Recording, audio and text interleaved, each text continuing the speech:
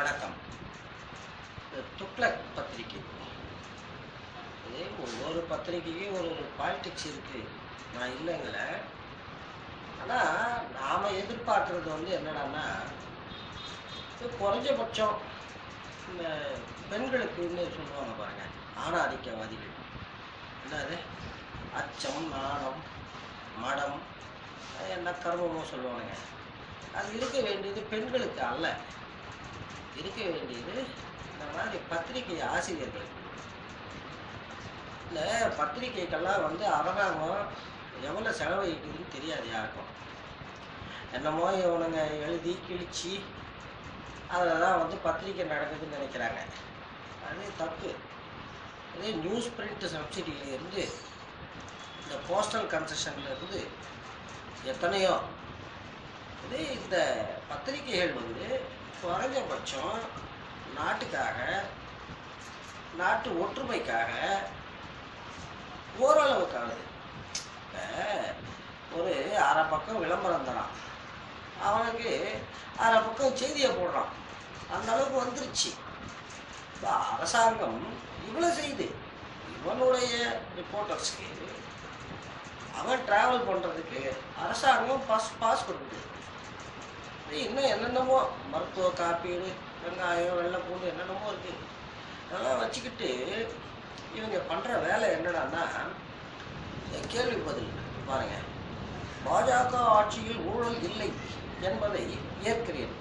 ஆனால் ஊழலுக்கு துணை போனவர்களோடு நட்பு பாராட்டுவது கூட்டணி கொள்வது தவறாகாதா? இது கேள்வி. கலைஞரே மேலு. நானே கேள்வி நானே பதில்னு ஓப்பனாக சொல்லுது அதான் திராவிடம். ஆரியம் வந்து என்னடா மாயா எல்லாமே. பாஜக ஆட்சியில் ஊழல் இல்லை என்பதை ஏற்கிறேன் அப்படின்னு ஒரு வாசகர் சொல்றாங்க இப்போ இந்த ம மற்றதெல்லாம் விட்டுருவோம். எது? சவப்பெட்டி ஊழல் அது என்னது இந்த க கடலை உருண்ட ஊழல் அதெல்லாம் கூட விட்டுருவோம். இந்த டிமானிட்டைசேஷன் டிமானிட்டைசேஷன் வர்றதுக்கு ஒரு வாரம் முன்ன வரைக்கும் எவனா கொண்டுட்டு போய் பழைய நோட்டை குப்பையாக பேங்கில் கொட்டினான். எடுத்து பார்க்கட்டும். பார்த்தா தெரியும். இது அடுத்தது பாருங்க. என்னது? ரொம்ப அச்சானியமா. என்னடா படிக்கிறவன் என்ன நினைப்பான்? அது ஒரு கூச்சம் கூட கிடையாது. அப்புறம் வந்து உத்தம பத்தினி மாதிரி பேசுறது எல்லாமே. என்னது? அரசு ஊழியர்கள். அரசு ஊழியர்களின் வேலை நிறுத்தம் பற்றி அப்படின்னு ஒரு கேள்வி கேட்கிறார். அதுக்கு பதில பாருங்க.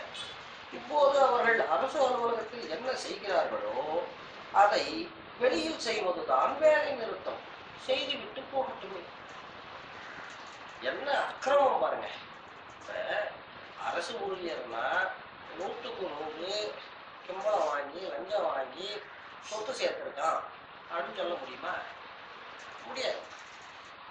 ஒரு அரசு ஊழியர் அவனால வந்து திங்க முடியாது கழிக்க முடியாது.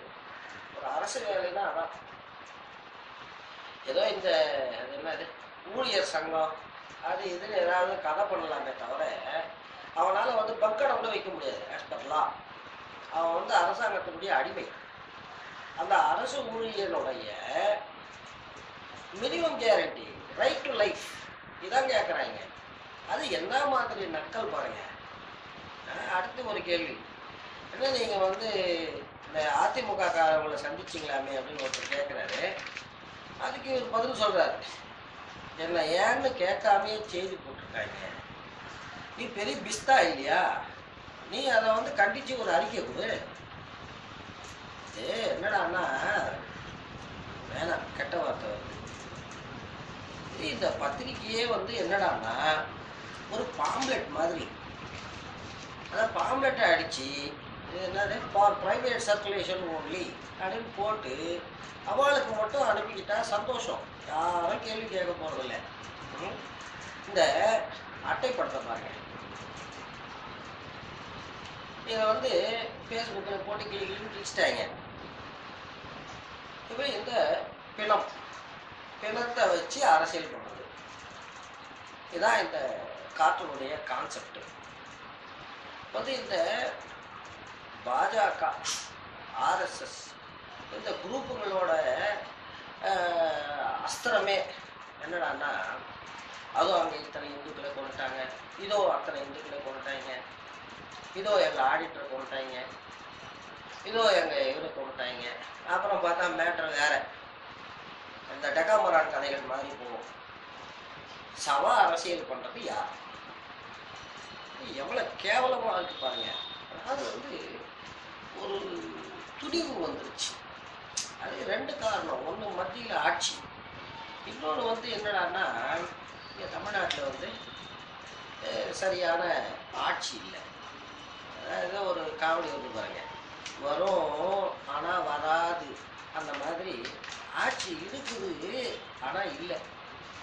இது அடுத்து இந்த இது தலையங்கம் நோட்டுக்கு தடை. ஒரு ஆய்வு.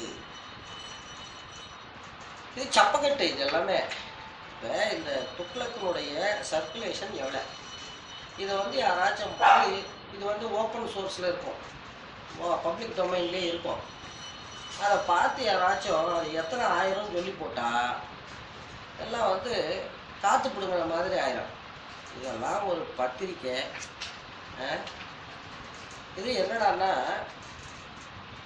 என்னது? ஒரே அலர்ஜி. அலர்ஜி ஆகுது அப்படியே. அதாவது ஊருக்கெல்லாம் ஒரு வழி ஒன்றரை கண்ணனுக்கு ஒரு வழின்னு பாருங்க அந்த மாதிரி.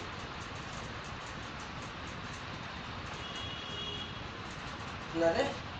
இது. ஒரு கார்ட்டூன் போட்டிருக்காங்க பாருங்க. மூன்றாவது அணிகள். அப்படின்ட்டு ஒரு கார்ட்டூன் அதாவது வந்து ஏற்கனவே வந்த மூன்றாவது அணியெல்லாம் வந்து செத்து போச்சான் அதெல்லாம் தலையை வெட்டி வச்சிருக்காங்களாம் இதே மூன்றாவது அணின்னு நீங்கள் தானே சொல்கிறீங்க யாரு கண்டா? இப்போ பிஜேபியில் உள்ள என்ன நடக்குதுன்னு யாருக்கு தெரியும்?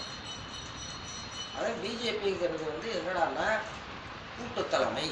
வெங்காய தலைமை அப்படின்னு ஆரம்பித்தானுங்க அது எங்கே போய் நின்றுது இங்கே லேடி அங்கே மோடி முதல்ல அஞ்சு பேர் இருந்தாங்க ஹோட்டலி.